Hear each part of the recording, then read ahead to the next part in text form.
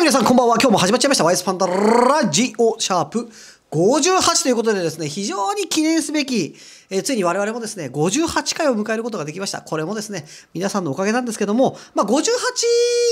回ということで、あえて振り返ってみるんですけども、58回もこんなくだらない集いと言ったら、あの、非常にですね、響きは良くないですけど、アホなことをしながらですね、皆さんと一緒に作り上げてきたですね、わけのわからない文化がですね、だいぶ大きくなったというところもですね、まあ、こう、目頭が熱くなるというかですね、そんな回を迎えた58回、非常にスペシャルな回でございます。えーなんでスペシャルか、58がというとですね、単に今、シャープ58って書いてあって思いついたってだけなんですけども、そんなわけでですね、さあ、今日も行ってみましょう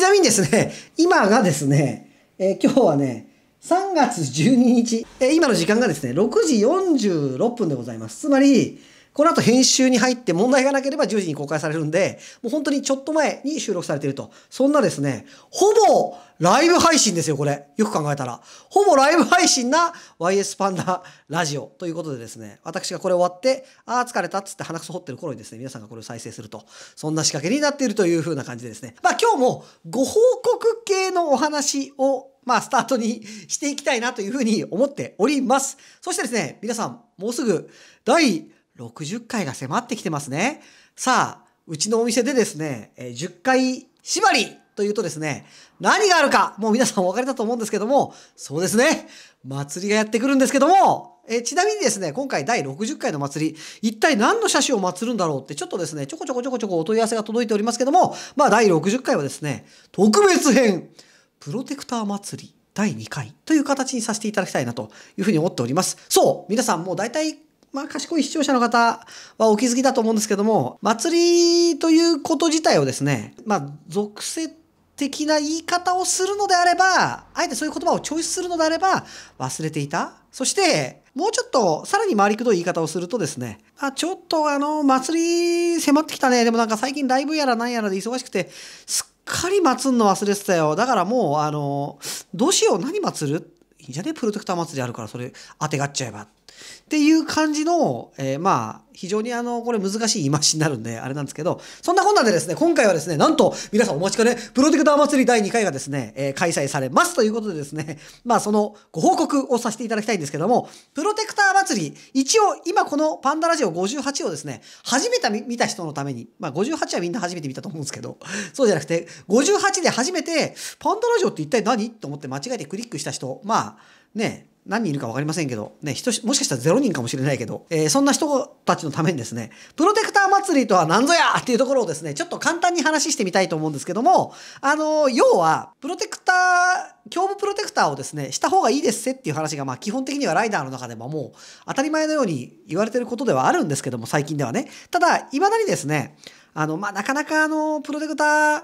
ちょっといい値段しますよねと。買おうと思うと5000円とか1万円とかしますよねと。だからちょっとなかなか財政的にしんどいんですよと。バイクもね、タイヤもすべすべだし、ブレーキもすってんてんだから、そこにお金かけなきゃいけないのでっていう方々とかですね。もしくは、今一歩踏み込めない。あれってどうなの？つけるのってなんか、やたら体がマッチョになったりして、なんかおかしいんじゃないの？とか、俺は線が細い男なんだとかね。いろいろいろいろ皆さん、そういう思いがある方のためにですね、プロテクターをしてくださいねっていう広報活動ではなくて、強制的に配ることによってですね、まあ皆さんもらったからするかっていうことですることによって、いつの間にか、プロテクターがもたらすぬくもりだったりとか、そのマッチョ感にですね、なんかすげえ違う自分を手に入れた気がするって言って、まあコスプレ的に来ていただいて、まあ剣道をやってる気持ちになったり、ウォーズマンになった気持ちになったりしてもらえればいいかなというのがですね、まあプロテクター祭りの概要なんですけども、もうわかんないですよね、何なのか。まあプロテクター配るってことです。はい。抽選でね。はい。ということで、そんなプロテクター祭りが迫ってきてるんですけど、プロテク祭りで前回、あの、よかったら企業の方協力してくださいねということでですね、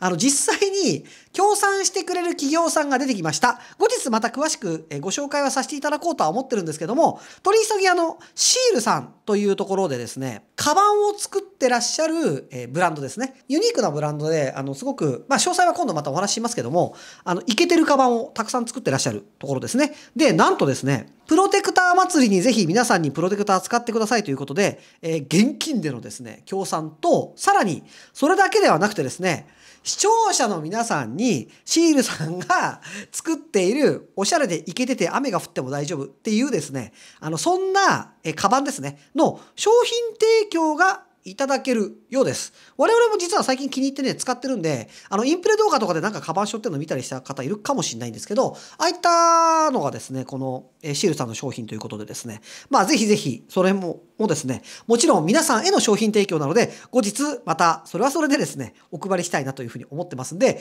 ぜひぜひお楽しみにっていうのがまず1点です。これ、シールさんですね。はい。そして、もう1社がですね、クードさんというところがですね、プロテクター台を今回出していただいててます。そして、えクードさん、えまあどういう会社さんかというとですね、今ちょっとウェブサイト見てるんですけど、あの、アクスルシャフトを作ってらっしゃいます。アクスルシャフトってタイヤを支えている棒です。あの、すごく噛み砕くと。で、それを黒森っていうね、まあ、金属ですね。あの、硬くて軽いってやつですね。黒森で作っていて、この一本で走りが変わる。えー、素材と加工と日本製にこだわるっていうですね。ちょっとあの結構クロート好みな、自分のバイクをスペシャルなものにしたいけれど、でも、えー、そこにですね、えー、結構こだわりがある方なんかはですね、このアクセルシャフトの改造って結構知ってる方多いんじゃないかなと思うんですけども、見た目も上がると思います。ただ性能が良くなるだけじゃなくてね、そんなクードさんの協賛をいただけたということでですね、あの、今回アクセルシャフトのクードさんから、え皆さんへのプロテクター台をいただいてます。そしてさらに、さらにさらに、えー、タラックスさんですね。タラックスさんちょっと土壇場で声かけすぎて、あれだったんですけど、あの、あ、ちょっとちょっと間に合わないから商品提供しとけよじゃあっていうことでですね、タラックスさんの、ちょっと何が来るかわからないんですけど、視聴者さん向けに、まあタラックスさんってもう皆さんおなじみなんですけど、うち結構あの、いろいろ、あの、タラックスさんの商品、あの、紹介させてもらったりとかもしてるんですけど、あの、タラックスさんの方からですね、皆さんにですね、ぜひぜひ取り急ぎこれ使ってくださいっていう感じでですね、素敵なプレゼントがいただけるようです。まだ詳細わかんないんですけど、わかったらご連絡しますけど、そうそう、検証がたくさん来るぞってことなんですよね。いろんな、プロテクターもそうなんですけど、えプロテクターだけじゃなくてですね、タラックスさんとか、まあ、シールさんとかがですね、え商品提供してくれるみたいなので、ぜひぜひ皆さんにですね、楽しんでいただけたらという風になっております。そして、さらにこれだけじゃないです。十分ですけどね。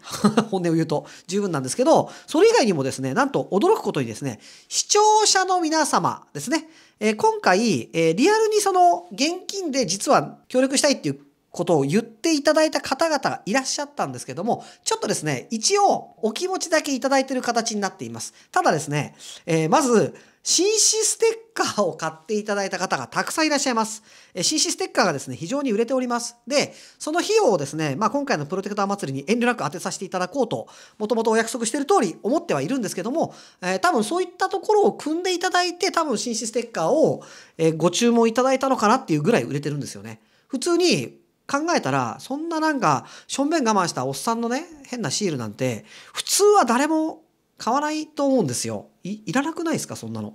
なんだけど、今回ですね、すごく売れてるというのはですね、皆さんの多分心意気、この僕このおしっこ漏れそうなおじさんのシール自分のバイクに貼りますんで、えー、ぜひぜひ、えプロテクターをですね、多くの方につけてほしいというふうにですね、多分心意気を持っていただいた方々がですね、きっと買っていただいたのかなというふうに思っております。なのでですね、えステッカー大量購入していただいた方々、本当にありがとうございます。そしてさらにですね、えライブ放送をやってました、ここのとこ。ライブ放送の方でもですね、スーパーチャットを入れていただいている方々がいらっしゃったんで、え今回は、えいただいたスーパーチャット遠慮なく全額プロテクターにベットさせていただきたいと思います。ということでですね、プロテクターを協賛しますよと銘打ってえやっていただいた方だけちょっとご紹介させていただくんですけど、まずあの、よく見ていただいているミオパパ一世さんですね。えー、これ、あの、協賛していただいてます。えー、今回金額は全部伏せますけど、スーパーチャットの方で結構ないい金額をですね、ミオパパ一世さんが協賛していただいてます。あとはコールソンさん、伊勢勘さん、えー、一撃必殺さん、そして、えー、慎吾多野さんですとか、影帽子さん。影帽子さんもいつもあれですね。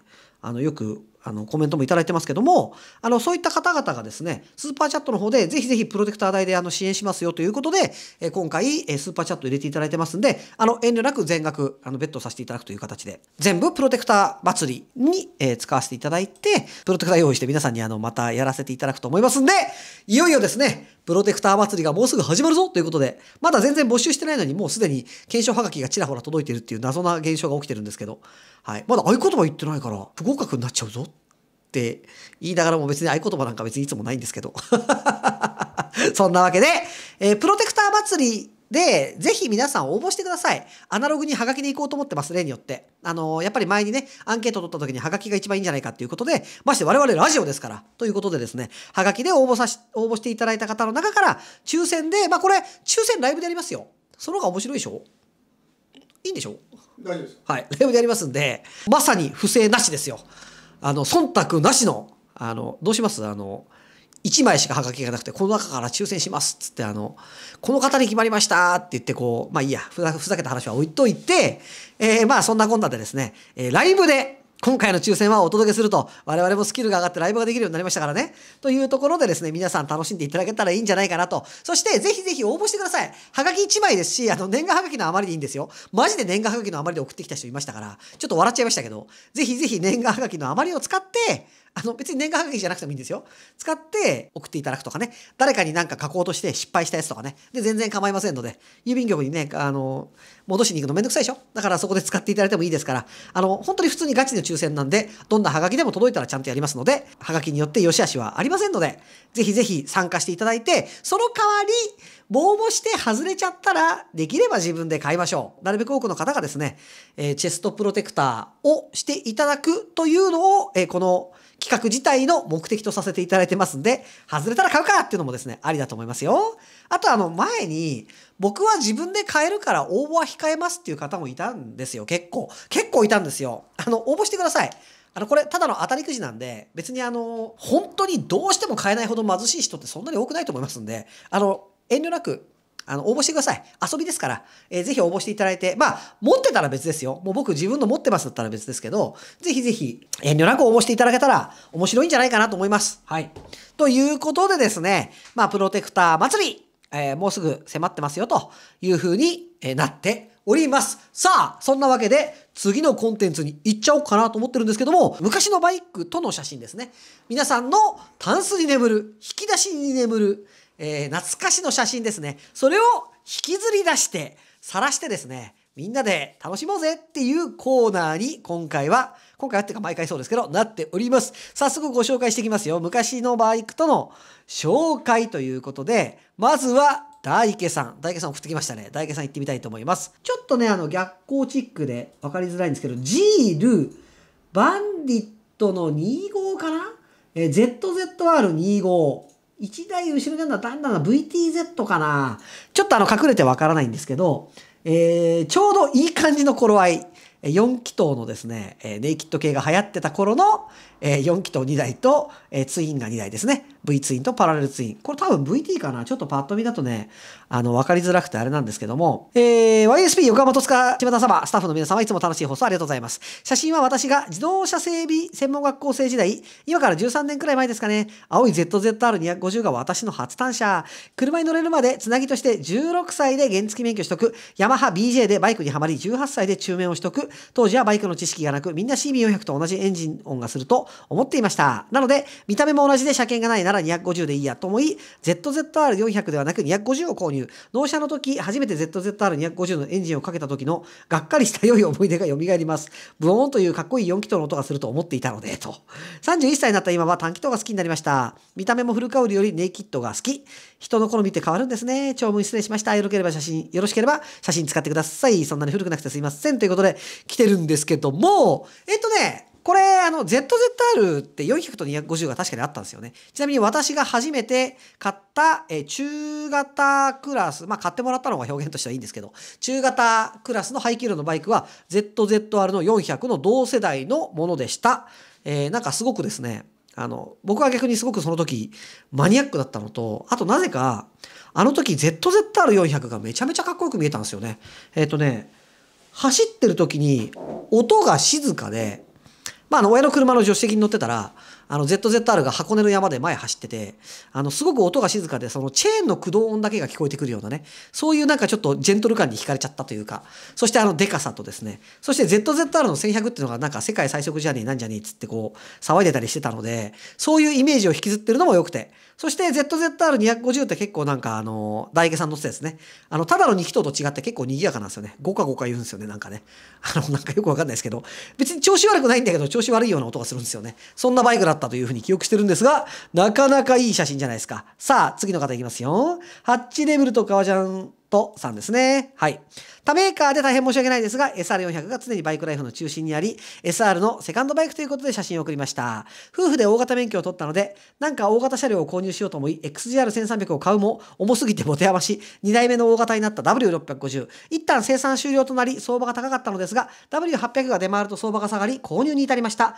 安く買えて喜んだのもつかの間、クラッチ板が滑り、修理代7万が飛んでいき、中古車の恐ろしさを思い知りました。ブルーシルバーの車体は、後々知り合いの板金屋でダブさんカラーに塗ってもらいました。妻が U ターンして立ちこけしてから乗ってくれなくなりましたので、何か手はないかと考えて GN125H 黒を練習用として購入。中華バイクでしたので安かったこともあり、良い練習機となりました。一緒のペースで走りたかったので赤い車両を追加購入。えー、2人でたくさん走って、妻が SR35 周年を買うきっかけになりました。ということで。はい。あ、これ懐かしい写、懐かしいっていうか、写真自体はそんなに古くないんでしょうけど、あ、これ最近のか。はいはいはいはいはい。うん、いいですね。富士山をバックに。すごくかっこいいですよね。はい。今ちょっとちっちゃいサムネで見てたら大昔のやつかと思いました。はい。でもいいですね。この色もかっこいいじゃないですか。なかなかいいですね。カバンのセンスも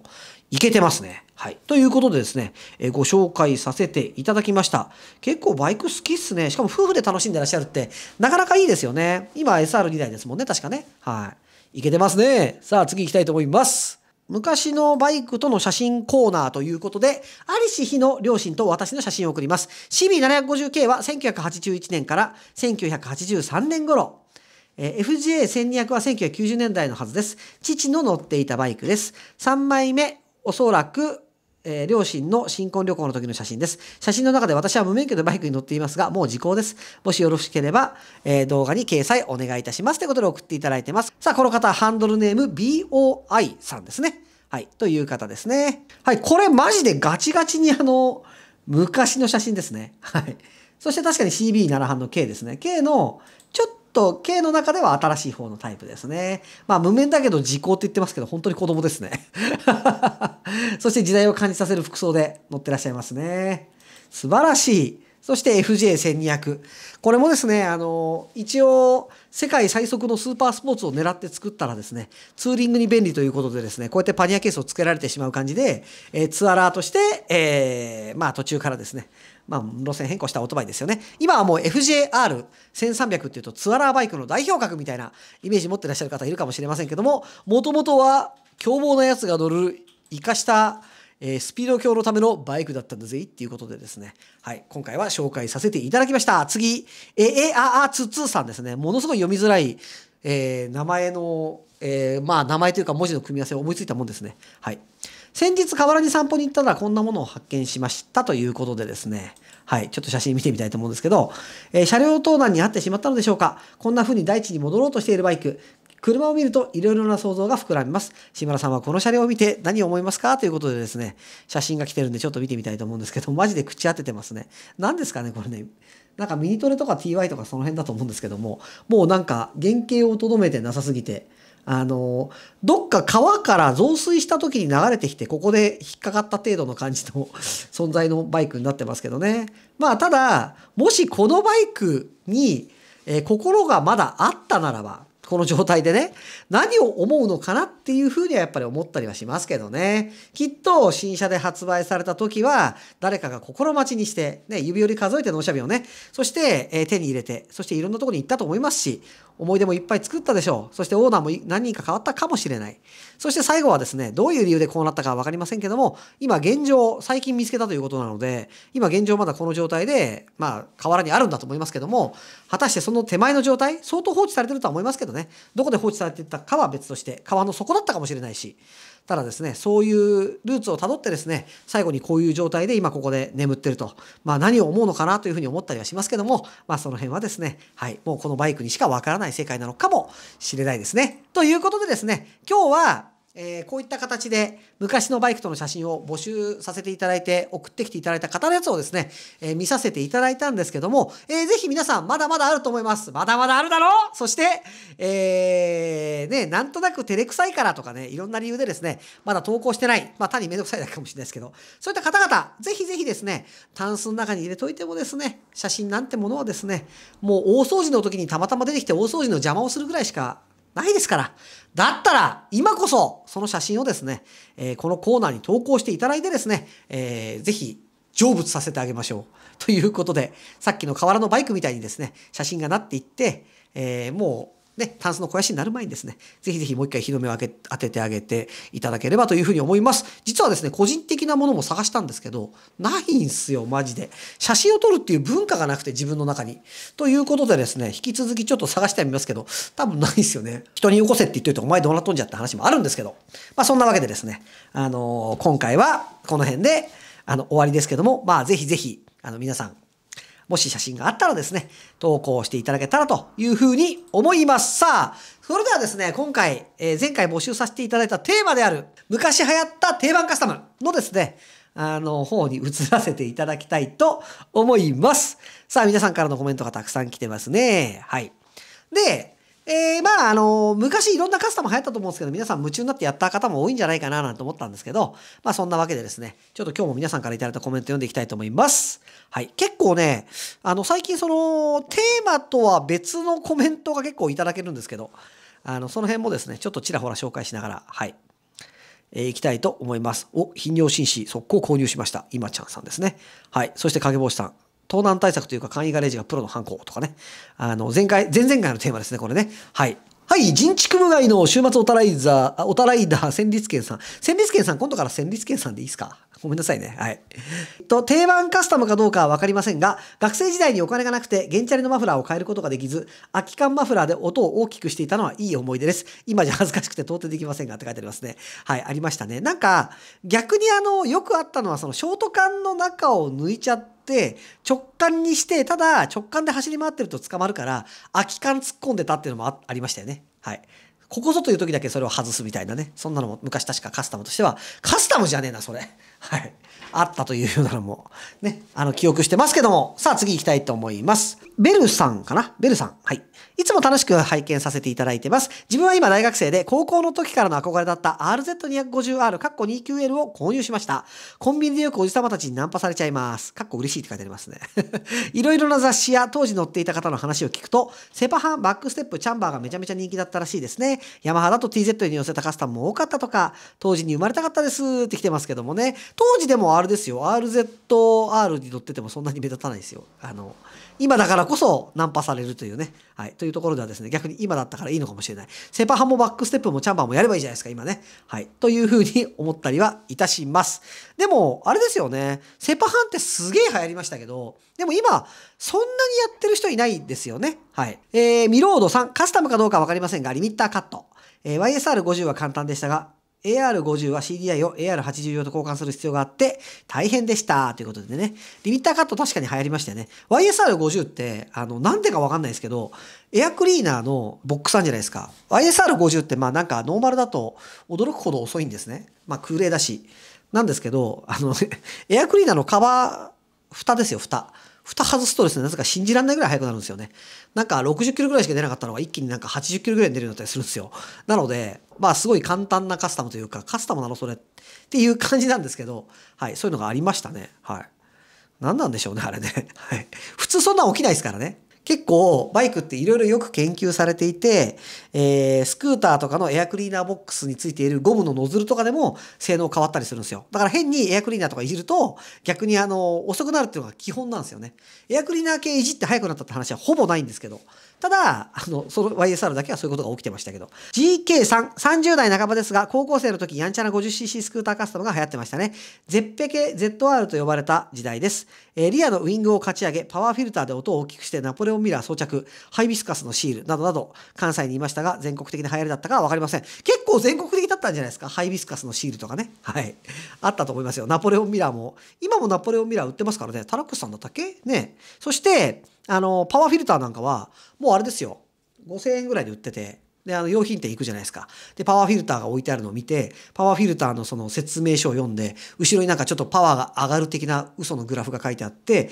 このパーツを取り付けると吸入効率が向上し、あの、こんなにパワーアップしますよっていうのが書いてあって、で、大体5000円ぐらいだから若者が頑張れば買えるぐらいで、で、若者が頑張って買って、取り付けして、音だけが大きくなると。そして遅くなるんだけど、そこに対してですね、あの、買ってしまってつけてしまって音も大きくなってこのまま行きたいもんだから早くなった気がするっていうところでですね自分を言い聞かせながらですねメーターで最高速が落ちたのを見ながらですね駆け抜けていた若者は全国中にいたんじゃないかななんて思っちゃったりはするんですけどいかがでしょうか？さあ次ですね。雪月夜さんでいいのかな募集テーマの定番カスタムですが、やはりステッカーチューンでしょうか安価にイメージをガラリと変えられる安定のカスタムかと思います。えー、通学にドラッグスター250を相棒にしていましたが、ペイントするお金も技術もないので、ピンストライプのステッカーをタンクに貼って、イメージ変えたりしてました。飽きたら剥がして付け替えられますしねってきてますね。確かにそうですよね。あとあの、リムストライプテープとかね、あの、ホイールにこう、一本こうピーってやるやつとかね、丸く貼るの難しいですけど、あの値段は安いのでありなのかなと思ったりするんですけど、やっぱ王道ですよね。例えば旅に出て、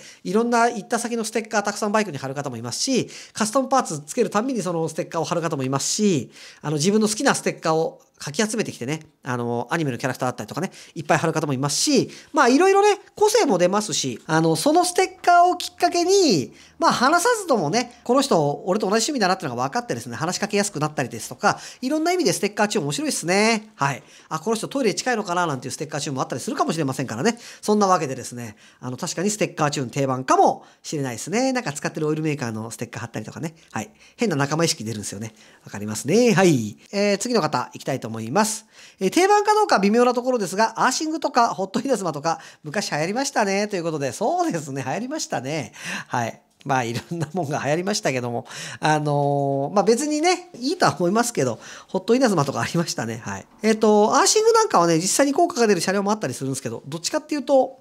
そのアーシングによって性能が良くなるというよりもですね、あの発電量が足んないからアーシングでごまかすとかね、まああの車種の話ではあったりするんですけども、はい。えー、次行きたいと思います。ポンちゃんあ、ごめんなさい、ボンちゃんか。ボンちゃん TW 乗りの初代ラーメンおじさんですね。はい。えー、昔流行ったカスタムですが、良いか悪いかは別として、車もバイクもミラーにハイビスカスの飾りをつけたり、くるくるテールつけたりが、えー、この辺りでは流行ってましたね。流行りは一巡してくるものらしいですが、またそんな日が来るのでしょうかというふうに来てるんですけども、全然来ると思いますよ。例えば、今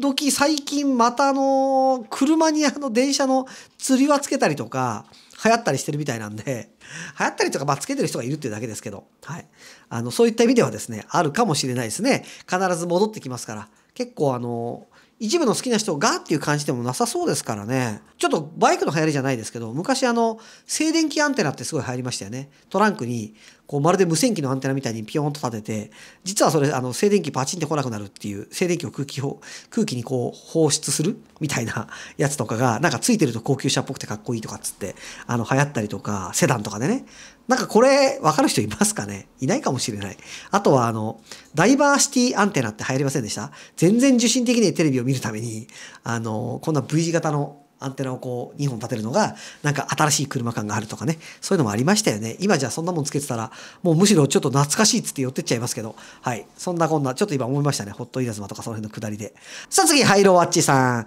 昔の私の世代の定番カスタムですがとにかくバトラックスを履かせるタイヤですね。はい。とにかくセパハンにする。とにかくメッシュホースにする。といった具合でした。ということで来てますね。まあありますよね。もう理由もかとにかくその出来上がったスタイルがかっこいいんだっていうことでですね。あのそういった感じ感じでやってらっしゃる時代も確かにありました。これあるあるなんじゃないですかね。はい。ミオパパ一世さん。今は全く見ませんけど、ターボタイマーとか水中化シフトノブなんてのが流行りましたよね。えー、二輪ライフは日川サイルで四輪のカスタムしか思い浮かばないって来てますけども、あの、水中化シフトノブは未だにトラックとかではつけてる人結構いますよね。はい。あの、ちょっと光っちゃったりとかね。はい。いろいろあったりするみたいですけど、ターボタイマーとかっていうのも、まあ実際あの、ターボタイマーって、あの、不要だったっていうのがですね、まあ今のあの、まあ、トレンドというか、ターボタイマーって何かっていうと、エンジンを切って鍵を抜いても、一定時間エンジンがかかってるんですよ。それは、例えばビュンビュン飛ばすじゃないですか、車で。ターボでビュンビュン飛ばして、そして、タービンが熱々になった状態。ものすごい回転数なんでタービンってね。ターボチャージャーですね。タービンが熱々になった状態でエンジン切ってしまうと、あの、タービンにダメージがいっちゃうからっていうことで、アイドリングでしばらく回すんですよ。何分か。そうすると、その間オイルがぐるぐる回るから、ターボが少し温度が下がってエンジン切ってもいいっていう風な感じになるんですけど、もう今なんてあの、ターボ付きの車がダウンサイジングだっつってバンバンバンバン走っていて、そしてさらに今度あの、なんていうんですかね、あの、アイドリングストップだとか言ってバンバンエンジン切っちゃってますから、それ考えるといらなかったんだなっていう感じはしますけども、はい。まあね、昔の車は必要だったんだっていうのもあるかもしれないですけどね。はい。と思います。いろんな、もう流行りますね。ただのガソリンの無駄遣いと環境に悪いだけですよね。僕もつけてましたけど、ターボタイマーはね。なんかそれつけないと壊れるような気がして。まあ、そんなわけで次行きたいと思います。ハッチレベルと革ジャンさんとですね、はいはい、ありがとうございます。先ほども。はい。と、昔やってたカスタム SR400 を AA 車風に外装をいじるっていうのが流行っていて、ご多分に漏れず僕も SR で BSA ゴールドスター風にして乗っていました。しかしずっと乗っているとセパハンはしんどいし、ある日突然気がつきます。あ、俺 SR が好きだったんだって。それから外装ノーマルの SR にしようと。当時交換する人が多かったからノーマルパーツ安かったな。SR は SR らしくが良いねって来てますね。あの、ハンドル切れねえんですよね。あの、セパハン SR の。ハンドルストッパーになんかパーツつけて、ハンドル全然切れなくなるんですよね。はい。U ターンが大変ですね。えー、ゆい、ゆいトリップさん。カスタムというか、ビッグスクーターがめちゃくちゃ流行った世代なので、おお、やっと来たビッグスクーター。あの爆音スピーカーとド派手外装にはびっくりしました。自分は乗ったことがないので分かりませんが、あんな爆音なスピーカーを運転している本人は、うるさくないのかな？そういえば最近はあまり見かけないかなってきてますね。はい、ありましたね。なんか一世を風靡ってやつですよね。竹の子族みたいなもんですよ。はい。っていう感じでですね、バンバンバンバン流行ってですね、やっぱりあの、どんどん派手になる方向にカスタムしていくっていうのがですね、あの、定番でしたね。あの、車のタイヤ履かせるとかね、最後はね。軽自動車用のタイヤを後ろに履かしたりしてね、あの、みんなひっくり返ってましたけども、まあそんなカスタムも流行ったりは確かにしましたね。はい。まあ、3、R1200、RS ライダー3。ライダー歴2.5年なので昔のことは全くわかりません。逆に現代の定番カスタムって何だろうスマホとかドリンクホルダーですかねそういえば第60回で祭る車種決まりましたかあら、来ちゃった来ちゃった。祭る車種はチェストプロテクターでございます。そして、あのー、あれですよ。ちょっと前になりますけど、ナンバープレートを逆向きにつけるの流行ってましたよね。若い子たちの間で。はい。とかね。はい。今現状は何でしょうかね。割とね、あの、まともな若い人たちが多いので、皆さん、これを見てるおっさんたちがですね、若かった頃のですね、あの、パッパラパーな、まあ、こんなこと言っちゃいけないですよね。そんなことないですよね。で、それでしれっとね、大人のふりして、若い子に説教してるかもしれないですけど、普段はね。はい。叱られますよあんまり言ってると。マッツン RC さん、お題についてですが、私が学生だった頃、周りはカスタムビッグスクーター乗りが多かったと思います。カスタムシート、ローダウン、ロンホイ、インチアップ、外装交換してオールペン、ネオン管など夜はピカピカ。あとはデビル管つけてる人多かった気がします。はい、ありましたね。来ましたね、どんどんと。MT のりさんでいいのかな？はい。定番カスタムはリミッターカットでした。高校生の頃友人たちと某バイク雑誌にリミッターカット方法が載っていて、ライダーコミックじゃねえのこれ。各自のバイクのリミッターをカットして載っていました。とある配線に丸々オーブの抵抗を入れるだけなので、格安でリミッターカットができました。えー、頻尿紳士ステッカー、速攻購入しました。ありがとうございます。はい。えー、おとしんふはさん。定番カスタムかどうかはわかりませんが、当時自分と友達の間でマグラのセパハンがかっこいいっていうのがあって、RZ250R につけてましたが、ポジションきつくだっただけでしたねと。オレンジブルーバード、かっこカンパチ沿いにあったっていうところのカスタム車両に憧れてたからでしょうか。それと雄三のクロスチャンバーはつけたかったけどお金がなかった。チャンバー高いですからね。ただクロスチャンバーってやっぱ憧れた人多いんじゃないですかはい。チペさん。私はここ何年かで本格的に乗り始めた人間なのでリアルタイムのことは存じませんが、スーパートラップブーム、イカ釣り漁船、ビクスク、エンジンにハンドルと大学つけただけなんじゃないかというスカチューンブームなどを聞いたことがあります。近年では比較的ノーマルかそれに近い状態で乗る人が多いので、その時代を知らない自分からするとなんだかすごく楽しそうに思います。楽しかったですよ。なんかお祭りみたいなもんですよね。みんななんかあの結構極端なカスタムをしたりですとか、まあ、スカチューンつって確かにあの SR なんかもね結構そういうカスタムをされていたっていうのがあのの当時 TW とかね SR とかねあったりしましたけども何が良かったのかと今思えば思うんですけどもただいっぱい作りましたよやっぱり言われて。あの、ちゃんとしたスカチューンとなんかもうただ部品取っちゃっただけのスカチューンみたいなのがあったりとかね。はい。あのちゃんとしたスカチューンはなんか薄べったいバッテリー入れたりして、機能を損ねないようにいろいろやったりするんですけど、はい。確かにそういったものもですね、流行りましたね。懐かしいですね。はい。って感じですね。はい。辻さんですね。はるかな昔、チャンプ CX、ジョグアプリをのチャンバーに穴開けて鳥を良くしてました。ってきますね。はい。カンマユーさん、昔流行った定番カスタムの話、自分の印象にあるのはスカチューンです。お、来た来たスカチューン。はい。身近に何台かあったので、SR は FCR つけてファンネル、えー、茶こしで乗るものだと勘違いしてました。インジェクションになってからは、あの場所にヤマハ開発人の情熱が封印されているので、開けてはならぬ場所だと認識しています。ということで。エアクリーナーボックスの時も、あの、情熱が封印されてますよ。結構、エアクリーナーボックスって、あの、バイクの中ですげえ大事なんですよ。意外と当時カスタムしてた時はそうは思わないんですけど、エアクリーナーボックスって超大事なんですね。で、エアクリーナーボックスの容量を稼ぐために、エアクリーナーボックスってある程度容量がやっぱ必要なんですけど、ただ脱着できなきゃいけないじゃないですか。そのエアクリーナーボックスが。ということですごく苦労して作ってるもので、それは今でも変わりません。あの、エアクリーナーボックスを、えー、それだけのために、例えば WR250R とかね、専用に作って、あの、非常にですね、パワーを出そうとしたりとか、あの、逆にあの、エアクリーナーボックスの中でですね、可変ファンネルをつけてみたりとか、やっぱりね、エアクリーナーボックスってとても大切なものです。なので、エアクリーナーボックスを取るとですね、そこから速くするのはなかなか難しかったりするんですよね。はい。メイ・トゥルースさん。昔流行った定番カスタム、ガンスパークでしょうか？どの雑誌にも大体1ページ広告がありまして、その安さと取り付けの簡単さ、パワーアップ効果の謳い文句は、チューンしたいけどお金がない貧乏学生の心をわしづかみにしましたね。私もご多分に漏れず愛車に取り付けました。当時は上の方でもう一伸びするようになった。吹き上がりが軽くなった。など周りに話しておりましたが、今になって振り返ると完全にプラシーボ効果だったような気がします。ということですね。ただですね、あの、これ、そのプラシーボ効果っていうのはですね、例えば、バイクに対していろんな商品が売っていて、その中にはその、まあ、プラシボ効果っていうものが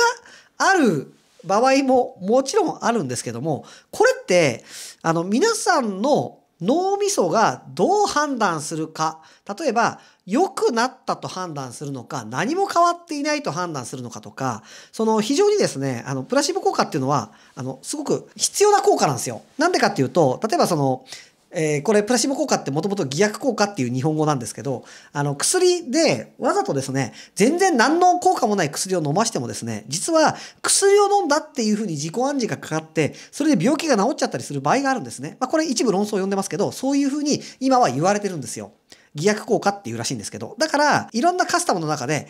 皆さんがよく迷う、これプラシボなんじゃねえの？それとも、あの、効果があるのかなって、よくわからないやつってあるじゃないですか。どっちなんだろう？これはまあ、まあ、十中八九プラシボなんですけど、ただ、その、プラシボ商品って、その、どれだけ良くなったというふうに買った人、取り付けた人の脳を錯覚させることによって実際の効果を生んでるのと同じ効果を生んでるんですよ。わかります？えっ、と、ただのビタミン剤を飲んだにもかかわらず、風邪が治ったとかね。ただのビタミン剤を飲んだにもかかわらず、病気が治ったとかね。そういうのと一緒で、むしろ本物の薬より効果がある場合もあるんですよ。だって、体に悪いものを飲まなくていいわけですよ。薬という、その体に対して何かしらのあのリスクを負わせるものを飲まず、変な話、ラムネ2つ渡されて飲まされて、これであなたは大丈夫って言われて、偽薬効果で治ってしまったとしたら、それってもうこれ以上ない優秀な薬ってことなんですね。つまり皆さんが、そのパーツを買ってつけた。その、すげえプラグだぜ。もうエンジンの中、めちゃめちゃ燃えちゃうよ。っていうふうに書いてある何かのパーツを買ったとするんじゃないですか。ね、別にあの、他のね、普通のプラグで全然あのちゃんと燃えてて、不完全燃焼なんか起きてないものに対して、ね、いやいや、焚き火に火をつけるのに、ね、僕はターボライターで火つけますよっていうものに対して、すごくこう、例えば、ワクワクしてつけたことによってもうこれねすげえスピードが出るようになったと。もうパワーが変わったじゃんっつってなったとするじゃないですか。それってめちゃめちゃ効果があったってことなんですよね。費用対効果は抜群なんですよ。だって実際に効果があってでも気づかなかったらなんかすげえ効果出てて実は10馬力ぐらい上がってるんだけど乗ってる人が全然気づかなかったら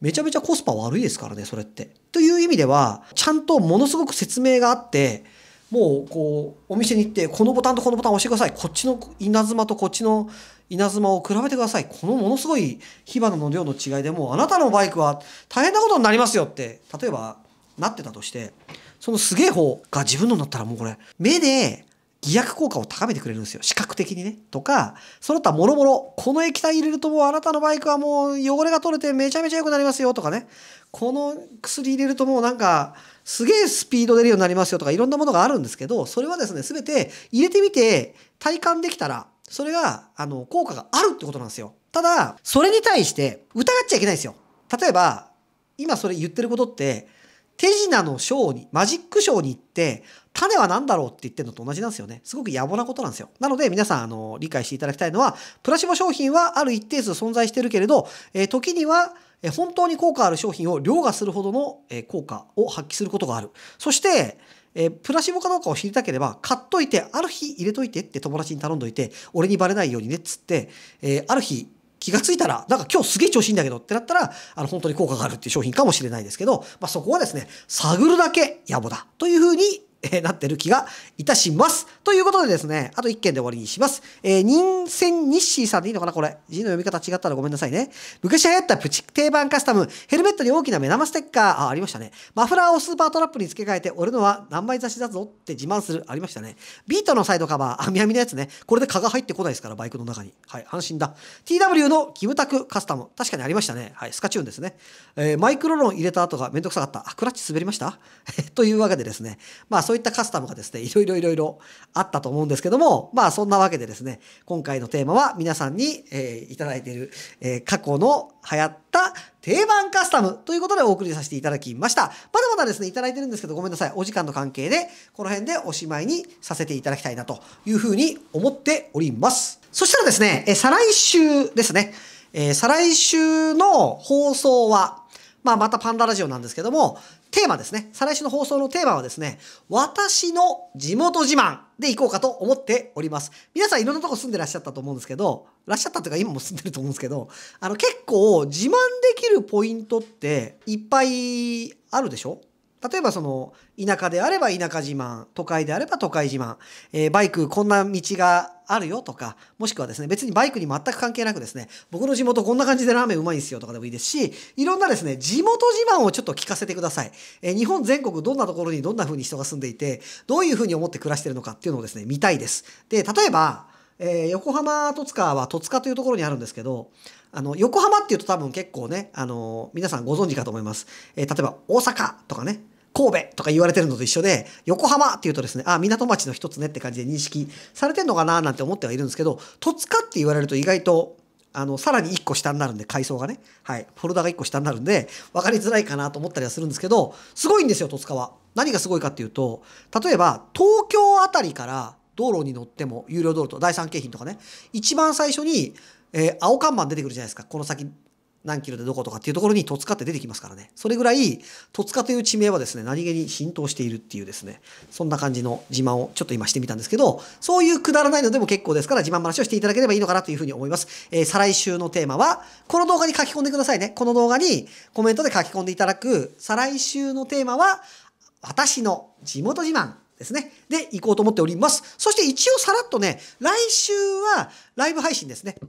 10時から、またいつものようにですね、10時からと言いながら、あの、ちょっとオーバーしたりとかしたりするんですけど、始まってるのに気づかないで喋ってたりとか、あの、なんかどっかのね、盛り上がってる受付のおばちゃんみたいになっちゃったりしてるんですけど、一応ちょっと今のうちから皆さん頭の準備しといてもらうために、えっとライブ配信でのやろうと思ってるテーマをお話ししておくんですけど、バイクにつけるあだ名があった方がいいんじゃないかっていうふうにですね、個人的には考えまして、例えば、YZF1000R サンダーエースとかね、あの、600、えーサンダーキャットみたいな感じで、えっ、と、なんかいろいろそういうのあるじゃないですか。名前の後ろにあだ名がついて、あだ名っていうか、メーカーがこういうイメージでこのバイクを考えてくださいねっていうふうに、ああの、あだ名的についてるのあるじゃないですか。でも逆に YZF-R25 みたいに何にもついてないのもありますよね。で、ほとんど何にもついてないんですよね。たまにそういう名前がついてるっていうのがあって、それをちょっとね、あの、皆さんでつけてあげようじゃないかと。ついてないやつが多すぎてかわいそうだなと思って。仲間外れになっていじめにあったら良くないので、ちょっとですね、皆さんと一緒にライブ配信しながら、えーそういうのをやっていこうかなと思ってるんで、ぜひぜひ考えておいていただきたいですよね。例えば、そうですね、えっと、何でもいいです。まあ、大体でも車バイクってこう、かっこいい動物とか、そういうものがつくんですよね。それこそ、さっきのサンダーキャットもそうですけど、雷猫ですからね。っていう感じで、ちょっと活かしたやつでもいいですし、あの、なんでこれにこれがついてんのってやつあった、あったりすると思うんですよね。例えばね、あの、はやぶさってあるでしょ？鈴木の。GSX1300R だっけ ?S だっけ？なんか忘れましたけど、はやぶさっていう名前があって、じゃあ、はやぶさって、まあこれはやぶさオーナーの方は気悪くしないでくださいね。冗談ですから。ははやぶさってはやぶさのイメージあります？って聞いたときに、はやぶさっていう鳥ってどんな格好してます？っつったら、少なくとももっとはやぶさに近いイメージのバイクってすげえたくさんあるじゃないですか。でもあのバイク、はやぶさっていう名前じゃないですか。だからそれを違うものに、これの方が合うんじゃないっていう感じで考えていただいてもいいと思いますね。例えば、あの、ナポレオンフィッシュとかね。GSX1300 ナポレオンフィッシュの方がもしかしたらぴったりくるかもしれない。ナポレオンフィッシュって知ってる？っていうのもあるんですけど。とか、例えばあの、今までないものにつけていく SDR207 節とかどうすか？みたいな感じで何かこう、あの、イメージできるかっこいい生き物のあだ名？ね、いろいろあるでしょ？何でしたっけ？あの、本田さんの DN01 でしたっけ？あの、でっかいスクーターみたいな、こういう格好したやつ。ね？だから、あの、DN01 マンタみたいなね？ああいう風な感じで、まあ今のは一例ですよ。かっこいいあだ名をですね、皆さん、あの、ディスるんじゃないですからね。かっこいいあだ名を、え考えていこうっていうのはですね、次回のライブ放送の、えテーマになりますので、その辺もですね、頭の体操をしながらですね、え来週を待っていていただいて、そしてですね、まあ、あの、お分かりだと思いますけど、来週のライブ放送、え10時の手前、9時ぐらいになりましたらですね、あの、茶舞台の前で正座していただいて、え箸を両手に持ってですね、茶碗チンチンチンチン叩きながらですね、え皆さん全裸で正座で待っていていただくというのをですね、お待ちしながらですね、今回はこの辺で終わりにさせていただきたいと思います。また次の放送でお会いしましょう。さよなら。